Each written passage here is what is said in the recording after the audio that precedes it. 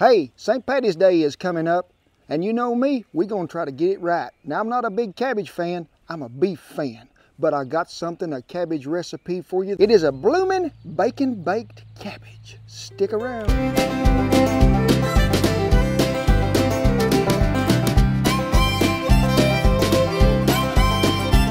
The luck of the Irish may be with me because I looked out there when we had the rainbow at the pot of gold. Look what it was a Dutch oven. Is they gold in it? Let's find out. Oh my gosh, look what the little leprechauns brought me. I never was a great big fan of cabbage till I married an Irish girl. And then she got to telling me that it was really good for me. You could cook it these many different ways. But I still couldn't find a way I really liked it till I got to experimenting with it. So what are we going to do? We're going to do a bacon buttered Parmesan cabbage in a Dutch oven. Yes, we are. It will be good, folks. All the little leprechauns and the Irish folks will be lining up and we'll be doing the Irish, uh, whatever you call it, dance. It'll be good, I promise you. So, what you need for this, you're going to need a deep Dutch oven. Today I have it in a deep 12. First, let's take this off. That is a little, what we would call weathered from holding the rest of it together. Let me move my little Dutch oven over here. Look what the leprechauns left under it. Some hog meat. So, first of all, I want you to take your knife, make sure it's sharp. And you folks been hollering for a sharpening video? Stick around because it's coming in the near future to a YouTube channel near you. Yes, it is. And it is rated what? Sharp. So, we need this to be able to set flatter. And with this stem on there, it won't do that. So let's just take that much off. That it's going to set good in there level. The lid will fit and we're going to cut us a hole in there.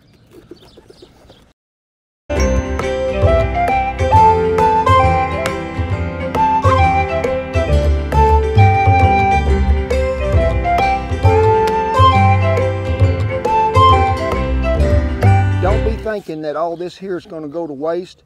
We have a bunny in the backyard. He is the Easter bunny. So he does like cabbage. So we're going to let him have it. What's going to live in the little hole we cut out?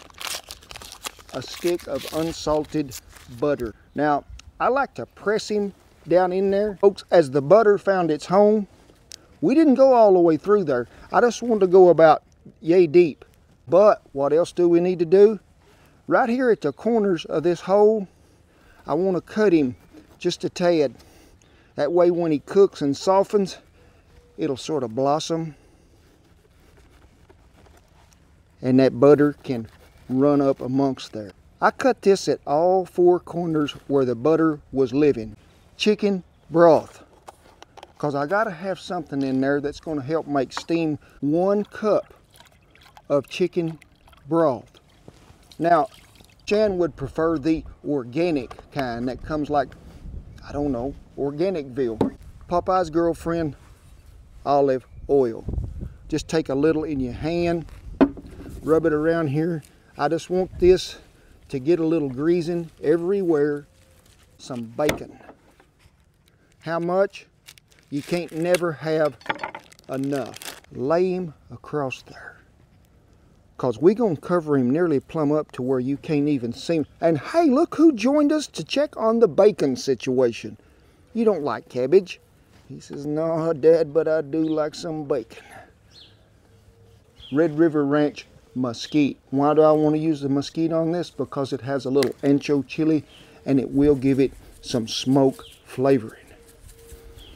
I like to try to move them bacons around just a tad make sure I get it on some of that cabbage. You can do this beforehand if you want.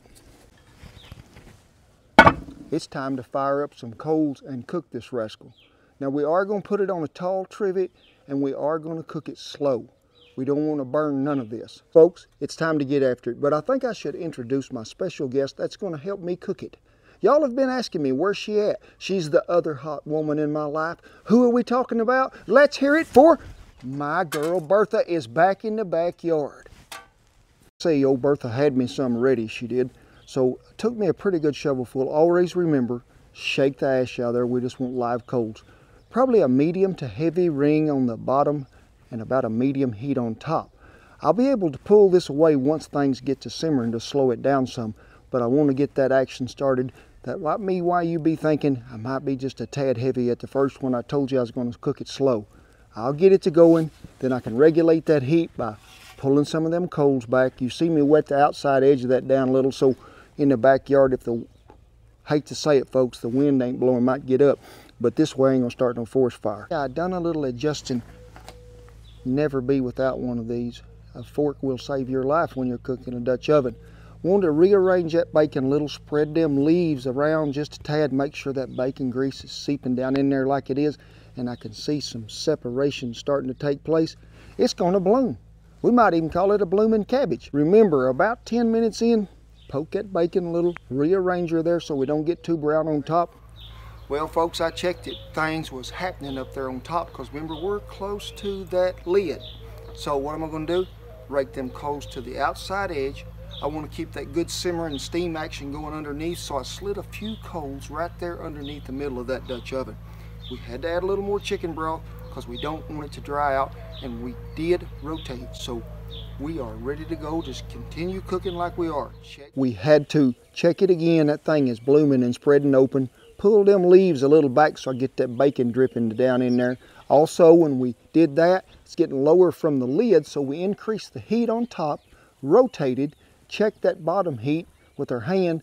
It was lacking just a little, so we scooted it in with a shovel just to get finished. But I think it's about time we ought to check it and see if it's tender. All you got to do is take your fork, reach down in here. You can see them leaves is good and tender, fall apart. This is a done deal. Everybody is happy so let's take him over to the table and we'll see what's happening. And you hear that? That is the dinner bell for all the Irish folks that's going to come over and eat.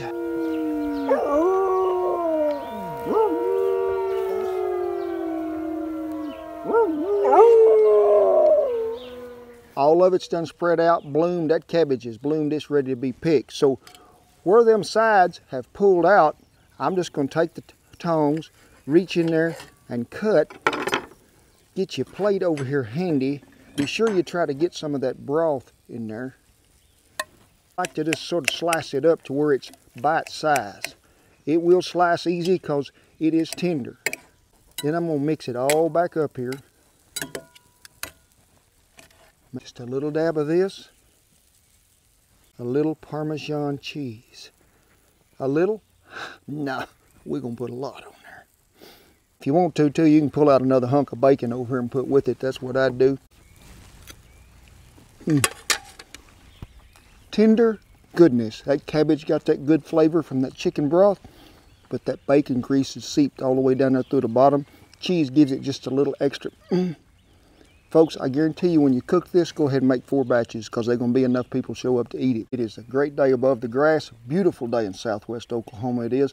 Don't forget St. Patrick's Day is coming up and we're going to be themed this week. What's coming up next in the next episode? An Irish bread. Probably made by an Irish girl. So y'all be sure and stick around. Look for it this week. God bless you each and every one. Hit the subscribe button. See you down the trail. You know, folks, I'm a little disappointed in you. Not bad, but just a little. Went through this whole video, and I never heard none of you holler out to me right now, what happened to your mustache? Yep, it's gone, but it's coming back. You may tell you what happened to it? Last week I was at cooking school, cracked the door on old Bertha. She kissed me. Got all one side, part of an eyebrow. Sort of singed my ear a little there, it did. But it will come back. I put some Rogaine on it, something like that. I think that'll help it, some fertilizer, I don't know. Let me just remind you too, we send out a newsletter, an email deal every month. Got a lot of great recipes on it.